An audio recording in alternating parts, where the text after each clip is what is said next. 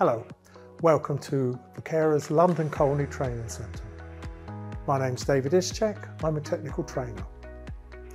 I'm standing in front of our Vocera Synergy combination boiler.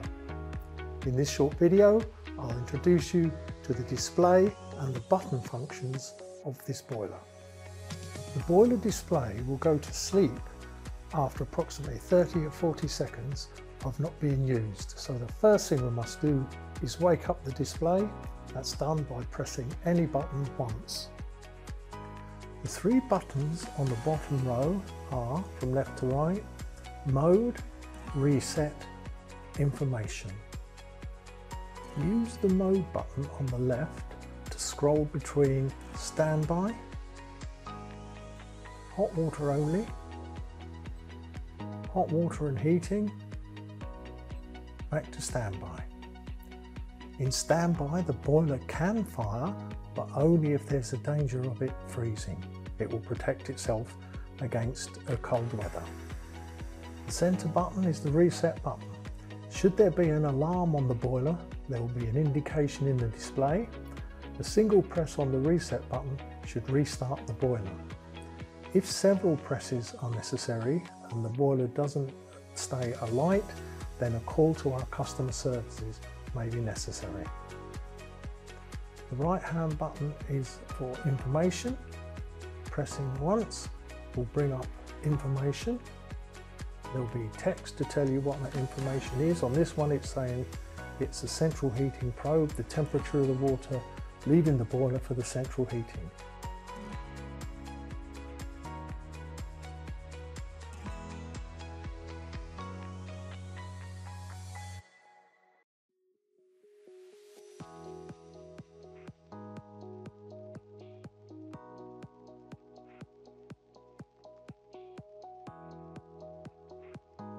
You can scroll between information by using buttons C and D on the right.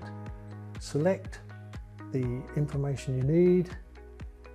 This is the outside temperature probe. If this boiler had an external sensor, it would tell us now the external temperature. But there are many pieces of information we can bring up. If you select the one you need, let's select another, 18, press to enter, it's telling me there's 1.4 bar pressure in the boiler. Press B to exit and we can move to another piece of information. 19, domestic hot water hours, how many hours the boiler's been running supplying domestic hot water. Press A to go in. This boiler's a new boiler so it hasn't done any hours supplying hot water. Press B to come out. When you've interrogated information, to return to the main screen, a single press on button B will bring us back to the main display. We can use the information button for another purpose. It can take us into setting some user parameters.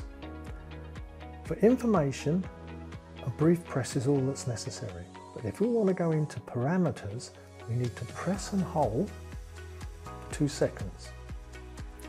P1 appears, parameter set 1, or as the boiler is telling us, settings. Press button A to enter, and we can scroll through some settings. We can choose language, I believe there are 12 languages we can choose from. Using buttons C and D, we can scroll through some other settings. We can set the time of day,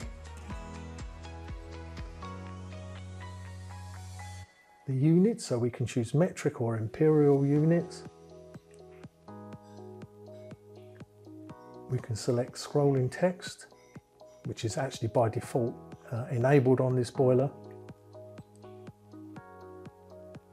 And we can select the buzzer, an audible signal to notify you when a button actually has been successfully pressed. To change any of the settings, press A to enter Change the setting to whatever you want, enable it or disable it. Press enter to lock that new setting. Press B repeatedly to return to the main screen. there is an embedded central heating system timer. It will switch your central heating system on and off as you wish. We will cover setting that timer in a separate video. The Synergy has a separate function called biberon or bottle feeder function. Its intention is the user can lock the domestic hot water delivery temperature in case there's a child we want to restrict the temperature to one that is safe for a child or possibly an infirm person. I will set that now. In general use, to adjust the domestic hot water temperature, use buttons A or B. It is possible to lock a desired domestic hot water temperature so unauthorised adjustment can't make the hot water too hot, uh, uh, raise it to a dangerous level. To lock the domestic hot water temperature, select a temperature you wish, then press buttons A and B simultaneously until domestic hot water lock appears in the display. You can't adjust domestic hot water temperature anymore until you unlock the display. To do that, bring the temperature to the front of the screen, bring lock to the front of the screen and then press both buttons A and B simultaneously. And now we can adjust the hot water temperature again. Buttons A and B will adjust domestic hot water temperature. Button C and D will adjust the central heating temperature. It's possible to lock the display to prevent unauthorised access. To lock the display, so you're locking these buttons, press and hold the two outer buttons until lock appears in the display. That's handy because if someone wants to clean the boiler with a soft rag or whatever, it means if you lock the display first, you're not going to adjust the settings on the boiler. To unlock, ring lock to the display and press both buttons simultaneously and now the display is unlocked.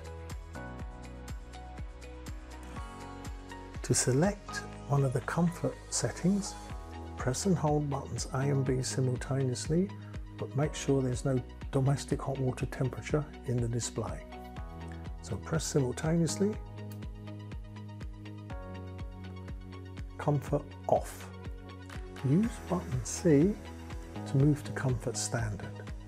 Comfort standard, the boiler will fire for approximately three to six seconds every 30 minutes to keep itself warm so that there's less delay getting hot water to the tap.